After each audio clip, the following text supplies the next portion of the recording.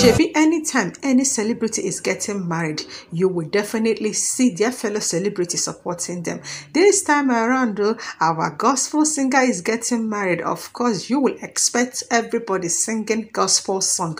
This is not time for us to be singing any secular music. Anyways, who is in the building? Oh, this is Mercy Chinwo, her husband. Oh. Finally, they made it because they were conspicuously missing at the traditional wedding. Oh. Here they are at the white wedding.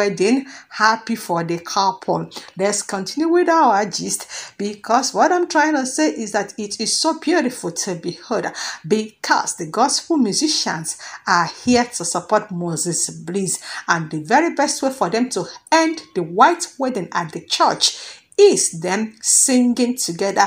I sighted Joe Praize. I also sighted Mommy Chioma Jesus and the rest that I cannot mention. Or you just enjoy yourself. Remember to subscribe if this is your first time. Turn on the notification bell. It is me saying hi, hello, bye.